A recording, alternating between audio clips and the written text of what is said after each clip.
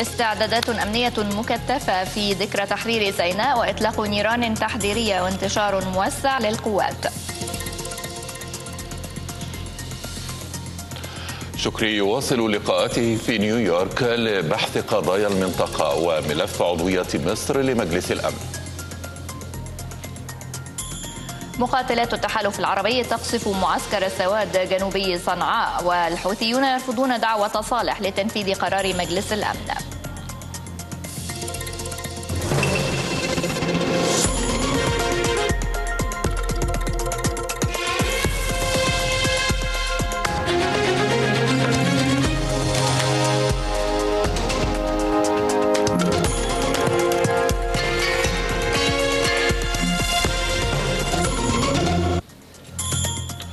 الثانية عشر ظهرا بتوقيت القاهرة العاشرة في جرينتش موعد فترة إخبارية شاملة تأتيكم من النيل. نحييكم في مستهلها والبداية مع زميلة إيمان منصور شكرا إليك. جزيلا لك أشرف. ونستهل مشاهدينا هذه البانوراما الإخبارية باحتفالات مصر بأعياد تحرير سيناء بعد الفاصل.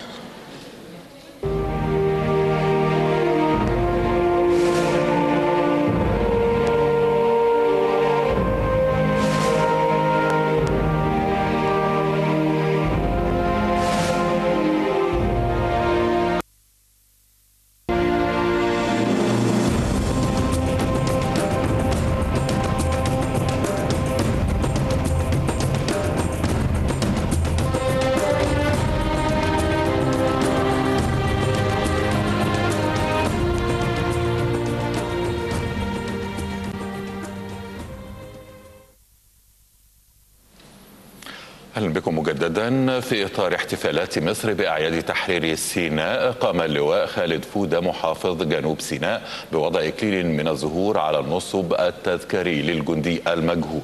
وأشار المحافظ إلى أنه سيتم خلال الاحتفالات افتتاح عدد من المشروعات الخدمية بالمحافظة. مشاهد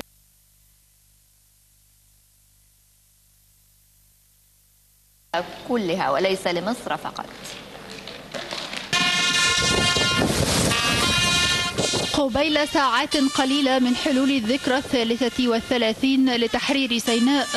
قام اللواء خالد فودة محافظ جنوب سيناء وعدد من القيادات التنفيذية والشعبية بالمحافظة بوضع إكليل الزهور على قبر الجندي المجهول تقديرا لدماء جنودنا الذكية التي سالت فداء لهذا الوطن. أسعد واحد النهارده إن أنا معايا الرموز العظيمة دي النهارده. اللي شرفتنا وحضرت معانا هذه الاحتفالية البسيطة. وإحنا كلنا أمل وكلنا تفاؤل إن شاء الله بان القادم هيبقى أحسن. ده بيؤكد على إن المصري قادر على إن هو في حالة الحرب إن هو يحرر بلده في حالة السلم القيادات دي قدرنا إن إحنا برضه نوصل لآخر جزء من الأرض في سيناء. وأكد الدكتور مفيد شهاب عضو لجنة التحكيم في قضية طابة أن هذا الاحتفال له فرحة خاصة في قلوب كل المصريين وخاصة أهالي سيناء. تهنئه من القلب ودعوات بأن تبقى سيناء كلها. أرض الرخاء أرض السلام ارض العزة أرض استرداد الكرامة والشرف.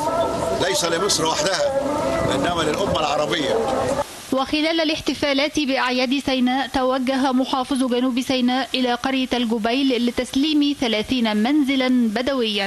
النهارده معاهم هنفتتح 30 بيت بدوي وهنفتتح نادي للمعلمين والنهاردة أنا شايف كل جماهير مدينة الطور سعداء جدا بوجودهم معانا. ودي بنذكر أبنائنا وأهالينا وأوطاننا بالرموز دي وبنذكرهم إن يعني العمل اللي تم في 73 ده عمل كبير جدا 25 إبريل ده عمل تم أخذ حقنا بالقوة بالسلام وبالقضاء وفي جميع المجالات. الدولة كلها اشتركت في تحقيق هذا الهدف. إن الاحتفال بعيد تحرير سيناء هو بمثابة انتصار للأمة العربية كلها وليس لمصر فقط. كما يعد أكبر انتصارات الجيش المصري حيث أكدت القوات المسلحة أنها درع مصر الحامي. ولن تستطيع أي قوة داخلية أو خارجية المساس بأمن مصر القومي. أيضا وفي إطار الاحتفال بذكرى تحرير سيناء شددت قوات الأمن بمحافظة شمال سيناء من حالة الاستنفار الأمني. وتقوم قوات الأمن بإطلاق الطلقات التحذيرية والكاشفة بكثافة من مختلف الأكمنة والارتكازات الأمنية بمدينة العريش ومختلف مدن المحافظة إلى جانب إغلاق مداخل ومخارج المحافظة وذلك تحسبا لأية عمليات إرهابية. وتقوم حاليا الدوريات المتحركة بمراقبة الأوضاع الأمنية وتطبيق قرار حفظ حظر التجوال اعتبارا من الساعة السابعة مساء من مساء أمس الجمعة إلى جانب تكثيف المرور داخل المدن وفي أطرافها ورصد أي تحركات.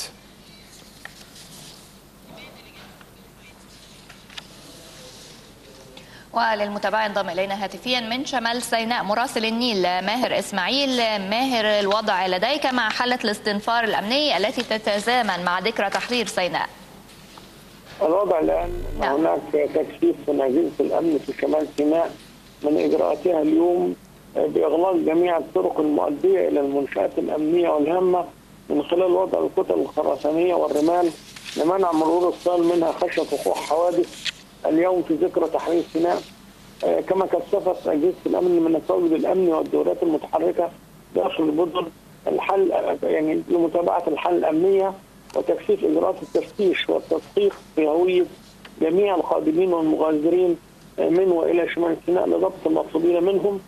آه، شنت اجهزه الأمن عدة حملات أمنية ليلة أمس استهدفت عناصر مطلوبة امنيا وتمكنت من ضبط ثلاث عناصر قالت إنهم من جماعة الإخوان منهم طالب بئر العبد متهم باتلاف مكنه ديزل وحرق لوحة كهرباء تابعه لمركز شباب آه، وفي واحد كما ألقت قبض على اثنين آخرين إحداهما فني بإحدى الشركات العاملة بالعريش والآخر آه، بدون عمل وسط سيناء لانتمائهم لجماعة الإخوان ومزاولة جميع أنشطتها. اجهزه الأمن فحصت تسعة الكمائن الكمائن والحواجز الأمنية المتواجدة في وسط سيناء خاصة على الطرق المؤدية من الشمال إلى جنوب سيناء والعكس. نعم. تم 89 حاله اشتباه من مستقل السيارات العابره لتلك الطرق لمنع تسلل العناصر المطلوبة من الشمال إلى الجنوب أو من الشمال إلى المحافظات الأخرى.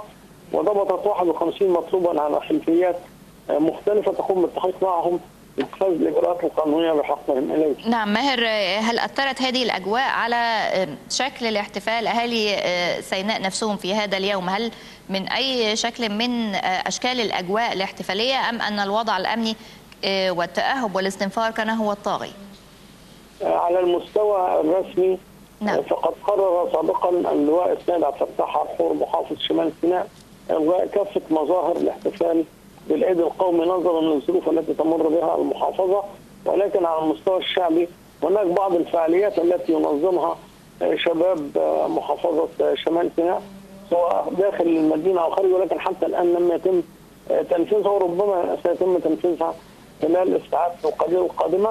ولكن الذي أود أن أشير إليه أن هناك مديريه الشباب والرياضه تشارك اليوم في المهرجان الخاص ب أعياد سيناء والمقام في استاد القاهرة بوفد شبابي كبير يشارك في الفولكلور وفي المظاهر والعادات والتقاليد والمظاهر الحياتية في شمال سيناء نعم بتواجد إيهاب حسن أبو وهاب مدير عام الشباب والرياضة على رأس هذا الوفد الذي يضم كما علمت نحو 300 شاب وفتاة من أبناء محافظة شمال سيناء. أشكرك ماهر إسماعيل مراسل النيل في شمال سيناء.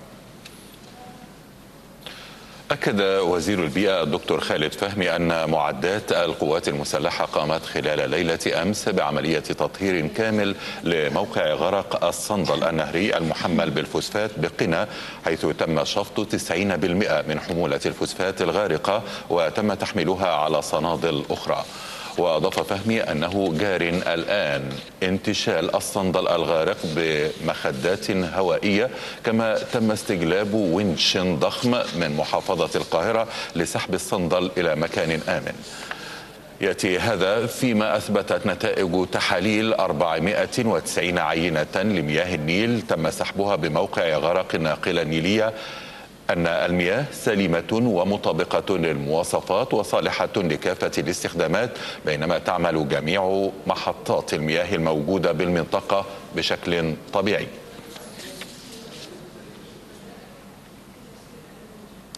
أفاد مراسل النيل بمحافظة الشرقية بوفاة أولى حالات التسمم بمستشفى الإبراهيمية في المحافظة وهو مواطن يدعى أحمد كمال ويبلغ من العمر 54 عاما. من جهتها أعلنت وزارة الصحة بالشرقية أنه جاري فحص سبب الوفاة لمعرفة ما إذا كانت ناتجة عن التسمم أو أنه كان يعاني من أمراض أخرى أدت لوفاته.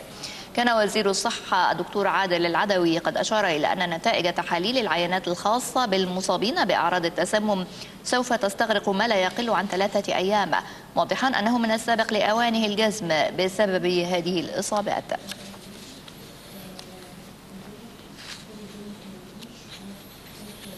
ما زلنا مع الشأن المحلي حيث نشب حريق هائل صباح اليوم في مصنع لإنتاج الخل بطريق القاهرة الإسكندرية الزراعي بالقرب من قرية ميت حبيش البحرية بمركز طنطا. ودفعت قوات الحماية المدنية بعشرين سيارة مطافئ في محاولة للسيطرة على الحريق في وقت سمع فيه دوي انفجارات بداخل المصنع نتيجة انفجار خزانات الخل. لمزيد من التفاصيل. كان يجب أن ينضم إلينا مراسل النيل من هناك ولكن يبدو أننا فقدنا الاتصال به. نعود إلى أخبارنا حيث أكد رئيس الوزراء المهندس إبراهيم محلب نجاح زيارته إلى إندونيسيا ومشاركته نائبا عن الرئيس عبد الفتاح السيسي في القمة الأفرو أسيوية وأن هذه الزيارة والمشاركة المصرية في القمة أعطت رسالة للعالم بأن مصر قد عادت بقوة إلى دورها الطبيعي والمحوري في العالم.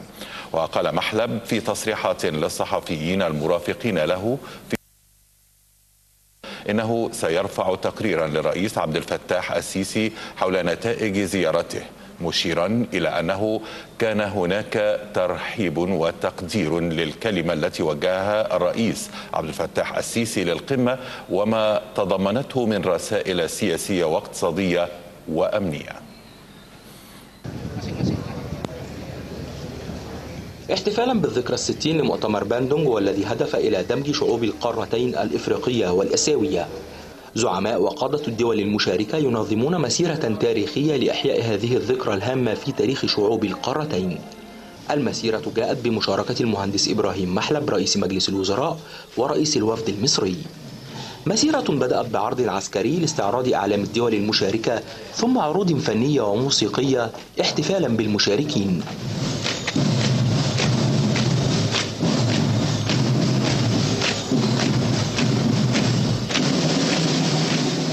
وفي كلمته أمام المشاركين بالاحتفال.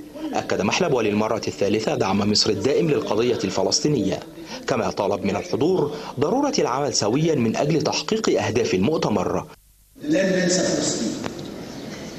ولن تهدأ أرواح. لن ننسى فلسطين. ولن تهدأ أرواح.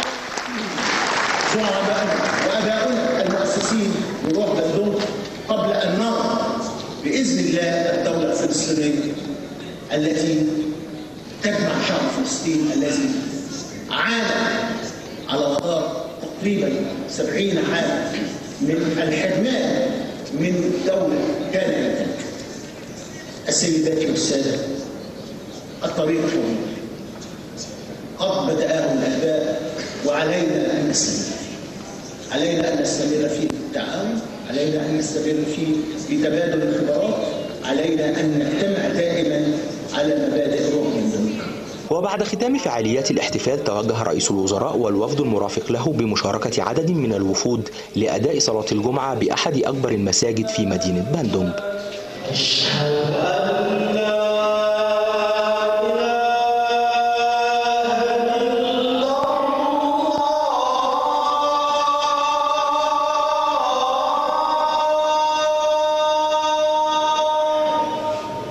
في هذا المكان وفي خمسينيات القرن الماضي تجمع الزعماء جمال عبد الناصر وأحمد سوكرنو ونيلسون مانديلا وغيرهم ليكون أول تجمع أفرو أسيوي هدف إلى ربط شعوب عانت من قضايا مماثلة.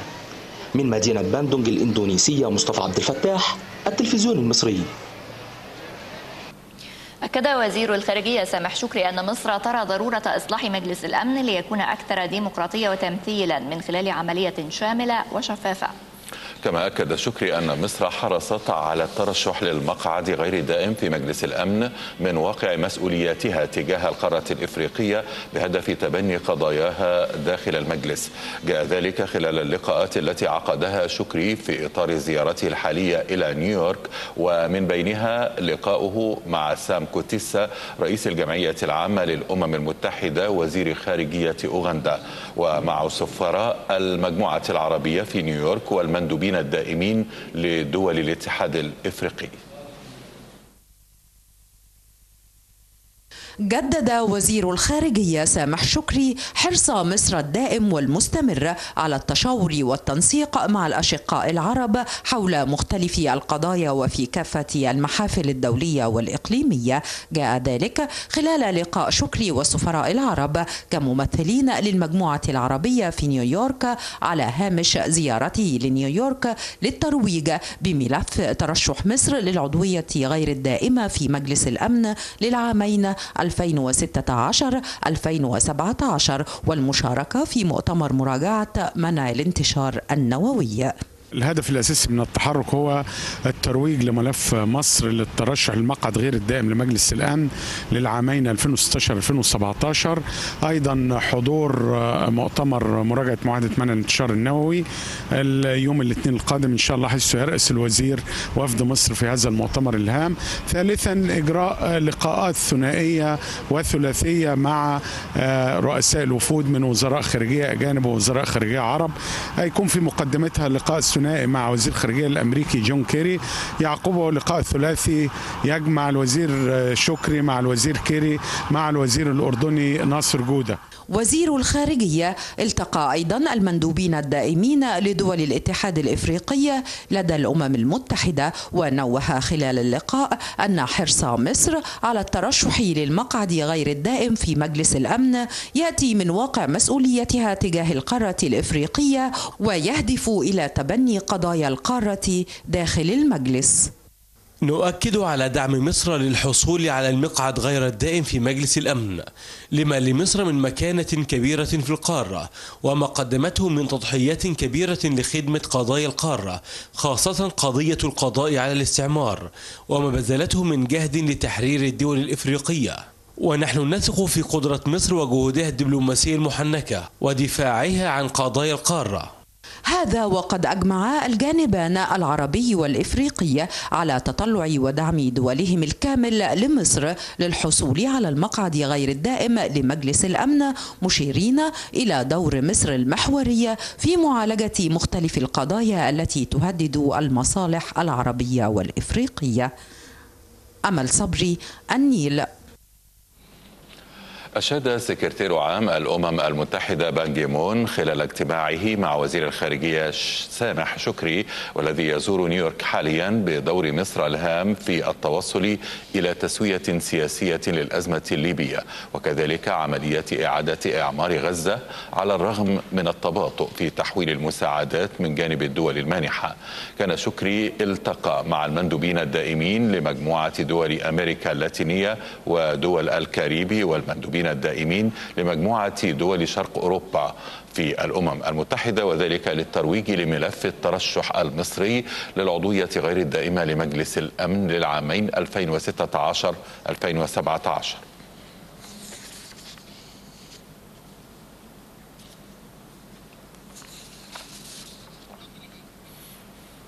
قصفت طائرات دول التحالف العربي معسكر السواد التابع لقوات الحرس الجمهوري اليمني فجر اليوم. وذلك للمرة الأولى منذ إنهاء عملية عاصفة الحزم قبل أربعة أيام وإطلاق عملية إعادة الأمل.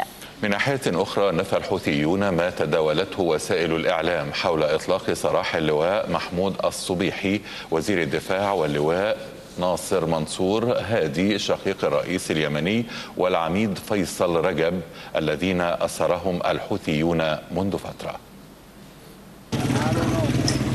عاصفة الحزم انتهت لتنطلق بعدها مبادرة جديدة أطلق عليها إعادة الأمل. الأمل في إنهاء الأزمة التي تعتصر اليمن ومواطنيه عبر الحوار عبر التفاوض غير أن الطريق إلى مائدة التفاوض يبدو مليئا بالعقبات والخلافات.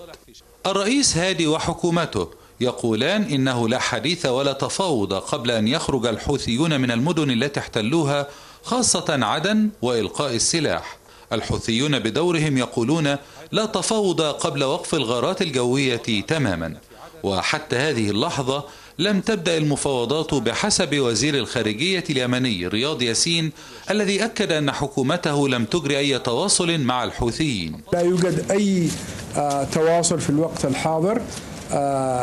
ما يقوم به الميليشيات الحوثية وميليشيات علي عبد الله صالح هو جريمة في حق الشعب اليمني كله.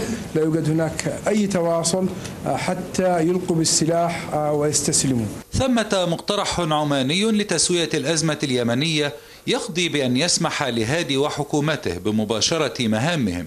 وفي المقابل وبحسب المقترح العماني تعمل كافة الأطراف على الإعداد لإجراء انتخابات رئاسية وبرلمانية قريبة وبالتوازي تنطلق مساعا لمعالجة الأزمة الاقتصادية والإنسانية بمساعدات واستثمارات دولية. بس يجب الآن أن تبنى على أسس حديثة يضع اليمن ويفتح الباب أمامه مع إخوانه مع أشقائه اللي يتطلعون معاه إلى النجاح. فهذه مسؤوليات مسؤولية جميع دول الخليج. نقف مع بعض في السراء ونقف مع بعض في الضراء ونحن الآن مستعدون الحمد لله. غير أن الحوثيين الذين ما تزال فصائلهم تقتل في عدن يرون على ما يبدو أن الهجوم والإصرار على القتال وهو ما يفعلونه في عدن قد يمنحهم الفرصة لفرض شروط أفضل من المطروحة كما أنهم لم يعلنوا تغيير موقفهم رغم أنهم وصفوا جهود الأمم المتحدة لدفع عجلة محادثات السلام بالإيجابية كما أنهم أطلقوا سراح وزير الدفاع اليمني اللواء محمود الصبيحي في خطوة تبدو تصالحية. ما يثير الخوف الآن هو ما يحدث عادة أو غالبا بعد العمليات العسكرية وتداعي الأطراف إلى مساعي السلام فالسرعة في اتخاذ قرار الحرب والتوافق عليه يقابلها دوما تباطؤ في الاتفاق على موعد للجلوس إلى مائدة تفاوض. رفضت جماعة أنصار الله الحوثيين مبادرة الرئيس اليمني السابق علي عبد الله صالح رئيس حزب المؤتمر بقبول قرار مجلس الأمن والعودة للحوار السياسي لإنهاء الصراع في البلاد. جاء ذلك غداة دعوة صالح لعودة الحوار بين اليمن والسعودية بوساطة الأمم المتحدة. كان صالح وجه نداء إلى كل الأطراف المتصارعة في جميع المحافظات أن يوقفوا الاقتتال ويعودوا إلى الحوار في المحافظات مشيرا إلى أنه على استعداد للتصالح مع كل الأطراف التي عارضته منذ عام 2011 كما دعا كل المتشددين وتنظيم القاعدة وأنصار الرئيس عبد رب منصور هادي المسلحين إلى الانسحاب من عدن وتسليم السلطة للجيش والسلطات المحلية.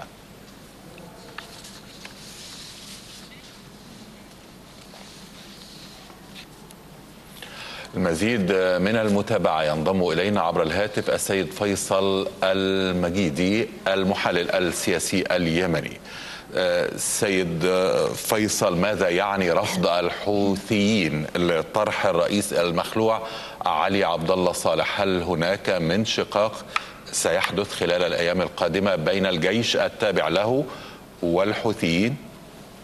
مساء الخير أخي العزيز.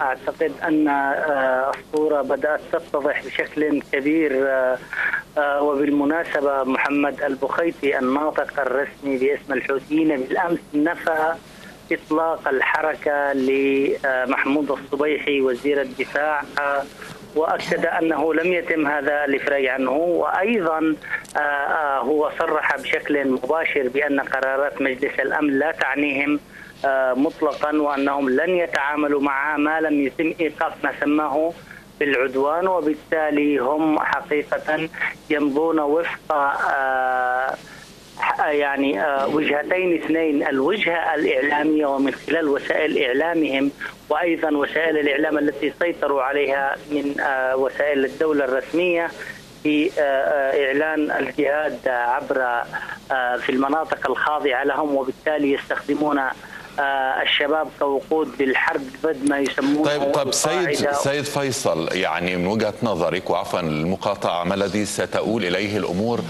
إذا استمرت عليه الأوضاع على ما هي عليه ضربات جوية وفوضى آه، على الأرض ببساطة تامة دعوة علي عبد الله صالح للحوار قد تحدث بعض الانشقاقات إلا أن اليمنيين والإقليم قد خبروا هذا الرجل باعتباره كما صرح في إحدى المرات أنه يرقص على آه، آه، الثعابين وهو الثعبان الأكبر. أعتقد آه، أن صالح ربما فقط استفادوا من كلامه بالأمس أنه أوضح حلفائه الحقيقيين عندما دعا ميليشيا الحوثي والقاعدة بين قوسين إلى إيقاف الحرب بمعنى ذلك إن هؤلاء هم آه، آه، حلفائه. ومن ثم أعتقد أنه من خلال ما يجري على الأرض غزوهم لتعز وعدن وأيضا الآن باتوا كما صرحوا على بعد 6 كيلومترات من محافظة مأرب أو مدينة مأرب النفطية. هم لا يعنيهم مطلقا ما يجري في مجلس الأمن ولن يعترفوا بالقرارات الدولية وبالتالي أعتقد أنه حتى يوم الاثنين القادم موعد انعقاد مجلس الأمن لن يحدث شيئا على الأرض إلا مزيدا من التوسع وسفك الدماء وبالتالي ستتحول المواجهة من المواجهة التحالف العربي فقط إلى مواجهة المجتمع الدولي بكامله لأنهم لم يقوموا بتنفيذ قرارات مجلس الأمن، نحن لا يمكننا أن نتحدث عن أي حوار مع جماعة مسلحة إلا وفقا للترتيب الذي رسمه أربع رسمته أربع أو خمسة قرارات من مجلس الأمن صدرت وأربع بيانات، آخر قرار ألزمهم بالتالي تسليم السلاح الانسحاب من المدن ومن ثم الجلوس إلى دائرة الم- المفاوضات. الآن ما يحصل أنهم يتوسعون في المدن وبالتالي أعتقد أنه لا يمكن اجراء. أي حوار معهم إلا بعد تطبيق لقرارات مجلس الأمن وهذا ما سيكون معهم مواجهة المجتمع الدولي بالكامل وضحت الصورة السيد فيصل المجيدي المحلل السياسي اليمني. شكرا جزيلا لك.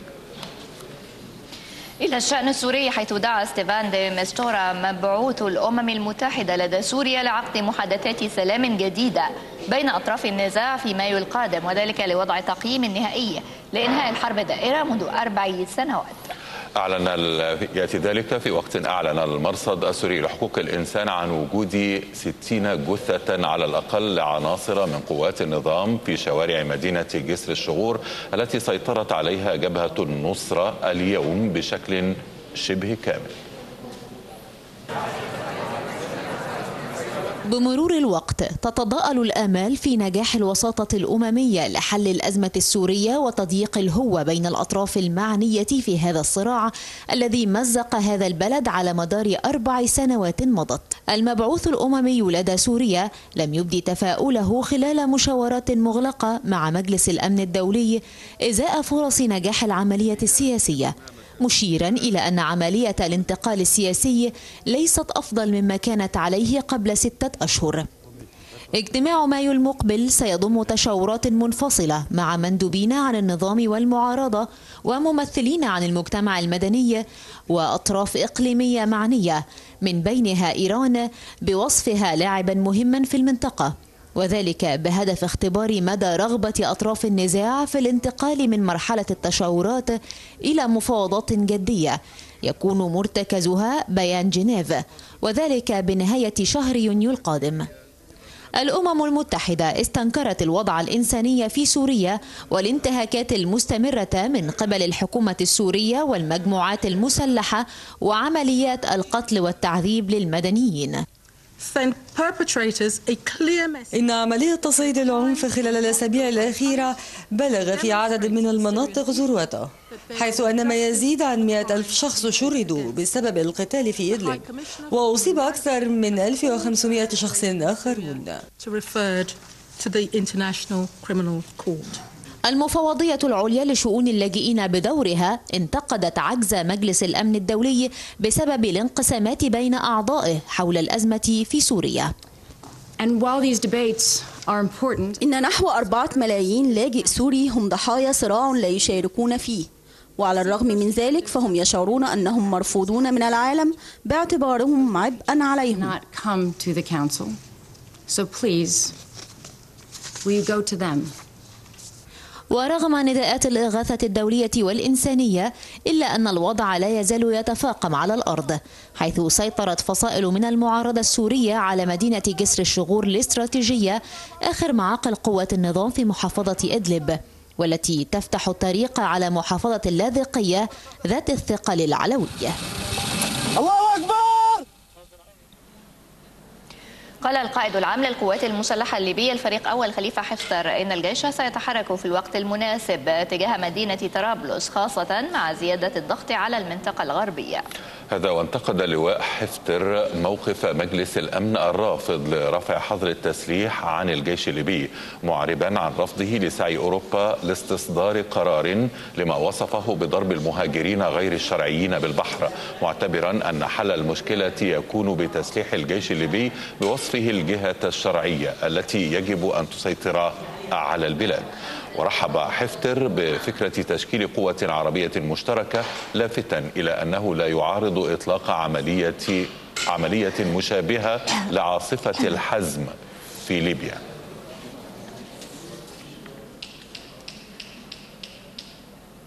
ميدانيا قتل شخص وأصيب ثلاثة آخرون جراء سقوط قذيفة عشوائية على مدرسة يوجد بها نازحون في حي النقي بالقرب من شارع دبي وسط مدينة بنغازي. كما أصيب المتحدث باسم عملية الكرامة بطلقات أحد القناصة خلال الاشتباكات مع قوات أنصار الشريعة بمنطقة الليثي.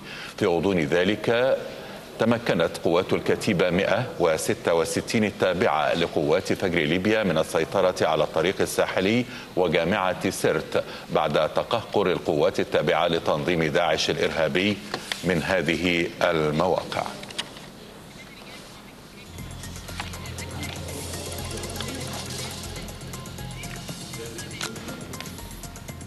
متواصلون معكم في هذه البانوراما الإخبارية وفيها بعد أنباء الاقتصاد. كبير المفوضين الإيرانيين يؤكد أن المباحثات النووية مع دول خمسة دائد واحد تتقدم بشكل جيد ولكن بوتيرة بطيئة.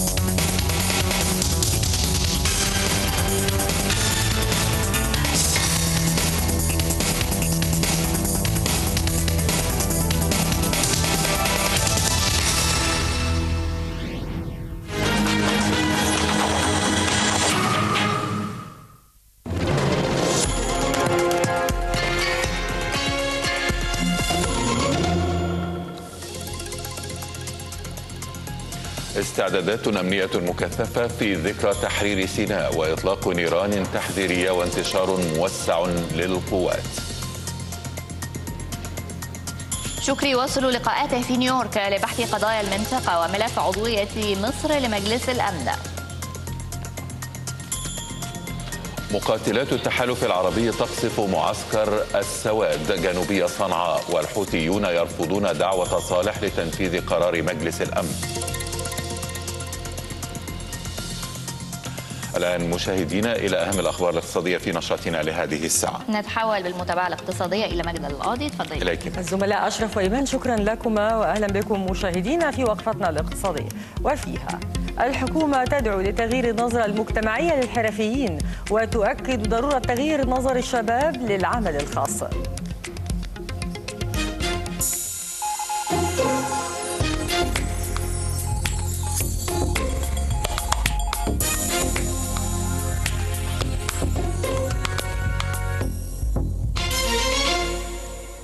مشاهدينا أهلا بكم مجددا. أكد وزير الصناعة والتجارة منير فخري عبد النور في كلمته التي ألقاها نيابة عن رئيس الوزراء إبراهيم محلب في افتتاح فعاليات معرض اشتغل إكسبو على أهمية تغيير الثقافة المجتمعية والنظره غير الصحيحة للحرفيين والمهنيين. وشدد الوزير على ضرورة تطوير مناهج التعليم الفني والمهني وإجراء التعديلات الملائمة في القوانين المنظمة للعمل والتعليم ليصبح أكثر توازنا من جانبه أكد وزير الشباب والرياضة خالد عبد العزيز أن جميع المبادرات التي أطلقتها الوزارة لتشغيل الشباب وتشجيعهم على العمل في القطاع الخاص باءت بالفشل مشيرا إلى وجود مشكلة في الخطاب الحكومي الموجه للشباب. وأضاف الوزير أن كافة آليات السوق الحالية لا تخدم القطاع الخاص لكنها في صالح الحكومة والقطاع غير الرسمي وهو ما يفسر إصرار الشباب على البحث عن وظائف بالقطاع الحكومي. حقق التبادل التجاري بين مصر وإندونيسيا مؤخرا زيادة بلغت 21% عن العام السابق بما قيمته 258 مليون دولار. وأكد الوزير المفوض التجاري المصري بالسفارة المصرية بجاكرتا أمين صبري أن الزيارة الحالية للمهندس إبراهيم محلب لإندونيسيا ستحقق نتائج مهمة في الفترة المقبلة بعد لقاءاته على هامش القمة الأفريقية الأسيوية وفي مقدمتها الصناعات الاستراتيجية والصغيرة والمتوسطة والطاقة علاوه على زيادة حجم التبادل التجاري والاستثمارات بالبلدين. مع حلول الذكرى الثالثة والثلاثين لتحريرها تتواصل في سيناء جهود تحقيق التنمية الاقتصادية بالموازاة مع الحرب التي تخوضها مصر للقضاء على الإرهاب في تلك البقعة الغالية على قلب كل مصري ومنذ استعادة طابة نفذت الدولة العديد من المشروعات التنموية بسيناء من طرق واتصالات وأنشأت الفنادق بمستوياتها المتعددة إلا أن الأمر يتطلب بذل المزيد من الجهد لتحويل سيناء لمنطقة كاذبة للسكان. بالموازاة مع الحرب التي تخوضها مصر للقضاء على الإرهاب في سيناء هناك حرب أخرى ينبغي أن تستمر لتحقيق التنمية في تلك البقعة الغالية على قلب كل مصري. سيناء أو أرض الفيروز تمثل نحو 6% من الأراضي المصرية وتنقسم إداريا إلى محافظتين وفيها العديد من المقاومات الاقتصادية السياحية والتعدينية وأيضا الزراعية والتي تؤهلها لأن تتحول إلى نقطة جاذبة للسكان. تعد شبه جزيرة سيناء المورد الأول للثروة المعدنية في مصر حيث يوجد في أطرافها الغربية البترول وفي شرقها النحاس والفوسفات والحديد والفحم كما تتميز بوجود أجود أنواع الفيروز في العالم وتمثل نحو 30% من الشواطئ المصرية على البحرين المتوسط والأحمر وعلى المجرى الملاحي لقناة السويس. الجهود المبذولة لتنمية سيناء لا يمكن إنكارها. فمنذ أن استعادت مصر شرم الشيخ وبعدها طابة انهالت الاستثمارات لإقامة المنتجعات والقرى السياحية. وتم الاهتمام بالبنية الأساسية فيها من طرق واتصالات وأنشئة الفنادق بمستوياتها المتعددة. فالدولة المصرية أكدت أنها تضع تنمية سيناء نصب أعينها من خلال خطة شاملة تستجيب لاحتياجات مواطنيها حيث تصب العديد من المشروعات القومية لصالح جهود التنمية في سيناء.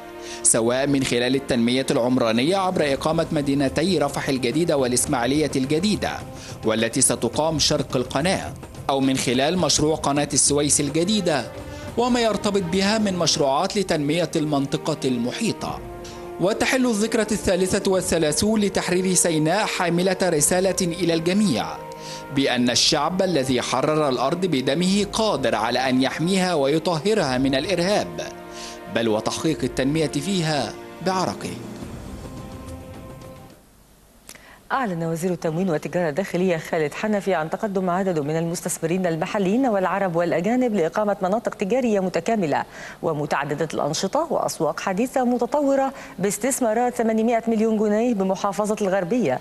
وأوضح الوزير أن الأرض التي ستقام عليها تلك المناطق تبلغ مساحتها حوالي 344 ألف متر مربع وسوف تخدم حوالي 20 مليون مواطن في أربع محافظات وهي المنوفية كفر الشيخ والبحيرة بالإضافة إلى الغربية.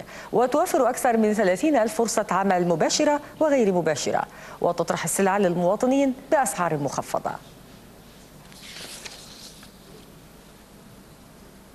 يعقد بمقر مجلس الوحدة الاقتصادية العربية بالقاهرة الثلاثاء المقبل اجتماع اللجنة الاستشارية لآلية تنمية الاستثمار والتجارة في الدول العربية للمندوبين الدائمين للدول العربية الأعضاء في مجلس الوحدة الاقتصادية العربية. ويتضمن جدول أعمال اللجنة التي تعقد على مدى يومين ثلاث دراسات. الأولى تتناول بيئة الأعمال للمشروعات متناهية الصغر والصغيرة والمتوسطة. في حين تتناول الدراسة الثانية حقوق الامتياز التجاري الفرانشايز. وتتناول الدراسة الثالثة تأسيس شركة عربية مشتركة لإنتاج مانع الانفجار والتبخير بالبترول ومشتقاته.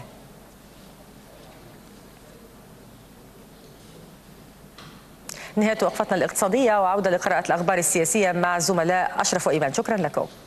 شكرا لك. جزيلا لك مجد. قال كبير المفوضين الإيرانيين عباس عراقجي إن المحادثات النووية بين بلاده والقوى العالمية الست تحرز تقدما جيدا وإن كان بطيئا مشيرا إلى بدء العمل في صياغة مسودة الاتفاق النهائي.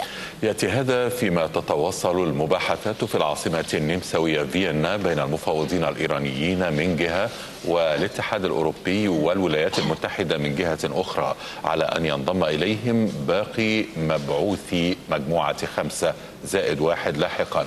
وتهدف المفاوضات إلى استكمال الاتفاق الإطاري للحد من البرنامج النووي الإيراني مقابل تخفيف العقوبات المفروضة عليه. وتبقى نقطة الخلاف الرئيسية على كيفية تخفيف العقوبات فبينما تريد واشنطن رفعها تدريجيا تصر طهران على رفعها على رفعها فور توقيع الاتفاق المزمع في 30 من يونيو القادم.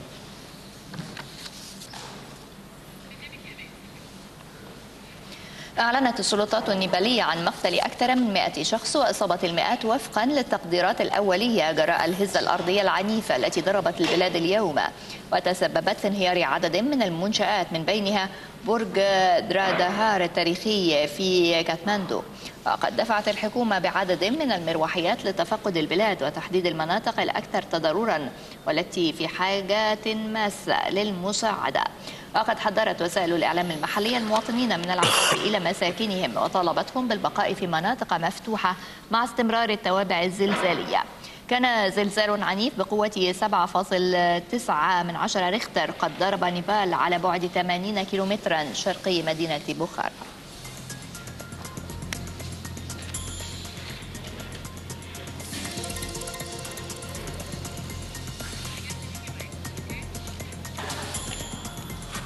نشرتنا متواصلة معكم وفيها أيضا مصر تنجح في استعادة أكثر من 100 قطعة أثرية من الولايات المتحدة الأمريكية.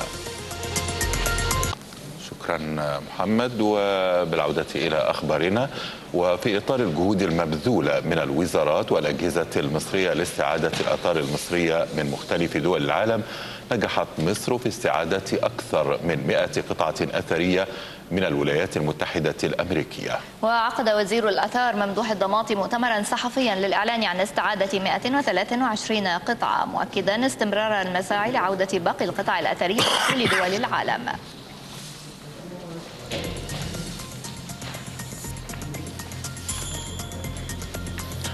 وختاما لنشرتنا إليكم تذكيرا بأهم العناوين. اليوم الاحتفال بذكرى تحرير سيناء وقوات الأمن تعلن حالة الاستنفار الأمني في شمال سيناء بهذه المناسبة.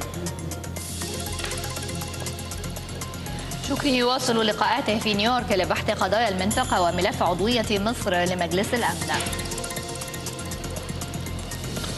ومقاتلات التحالف العربي تقصف معسكر السواد جنوبي صنعاء والحوثيون يرفضون دعوة صالح لتنفيذ قرار مجلس الأمن. وبعناوين الأخبار. نصل إلى ختام هذه البانوراما الإخبارية. إلى اللقاء.